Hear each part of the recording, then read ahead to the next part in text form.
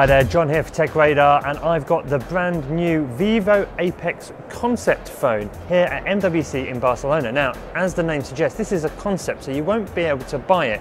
And to be honest, the technology in it isn't quite ready for the mainstream, but it's giving us a nice little glimpse into the future, maybe a year or two down the line, of what our flagship smartphones may be able to offer us. As you may be able to tell, there's not a lot of bezel in this bad boy. Around these three edges, you're looking at less than two mil, and at the bottom, just over four mil. That's a really low amount of bezel. And another key feature you may not have noticed is there's no notch. That's correct, there's no notch. So where has Vivo hidden all the bits that the notch houses? First up the earpiece and that is under the display. It uses vibrations through the screen and through the metal frame around it to pump the sound into your ear when you're on a call. There are dual stereo speakers on the bottom uh, for playing music but yeah during calls it comes through the screen, pretty smart. Next up the light sensor, that's placed on the top of the phone rather than the more traditional position of the front. Um, there's also a proximity sensor under the display so when you hold the phone up to your ear, it will turn the screen off so you're not wasting vital battery life. And then the fun part is, where's that front facing camera? No, it isn't under the screen. What you have to do is you fire up the camera, hit the button to turn to the selfie camera and bam,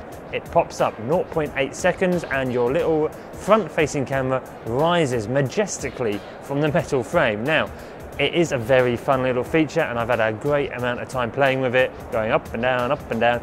There are, you know, some obvious questions. What happens if I drop the phone and the camera's out? It's a potential weak point that could break easily. Um, but again, it's just one solution to how do you get around not having a notch, but having all the sensors, speakers, and cameras still there as you expect on your smartphone. So this is just one implementation, and it's an interesting one at that.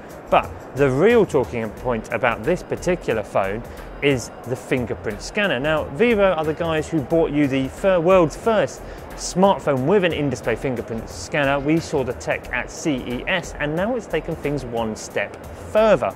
With the Apex concept, you're not just having to put your finger on a small circular fingerprint icon on the screen, you get almost half of the bottom half of the screen to put your finger and it'll be able to read it anywhere on that area any orientation. They've made the scanner bigger, making it easier for you to unlock your phone no matter how you're holding it. So that's a really smart feature. Now, this tech does work, but there are a few caveats. You have to hold your fingers down quite hard on the screen and there's a slight more noticeable lag versus traditional fingerprint scanners on phones.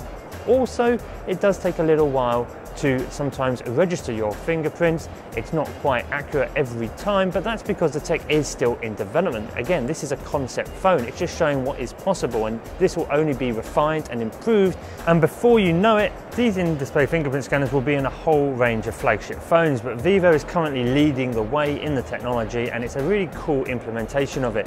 Another nice feature of this larger fingerprint area is it can read more than one fingerprint at the same time. So if you wanted added security for certain certain folders or areas of your phone, you can register two fingerprints. They don't even have to both be your fingerprints. You and your partner could have a fingerprint each to hide some dubiously sensitive information. I'm not going to question how you live your life or what you want to hide, but the option could be there in a few years' time on a smartphone coming to you. But there you have it. That is the Vivo Apex concept. A really kind of cool phone. Hardly any bezels, a pop-up camera, and a super big in-display fingerprint scanner that I simply can't wait to see in consumer phones in the next six to 18 months.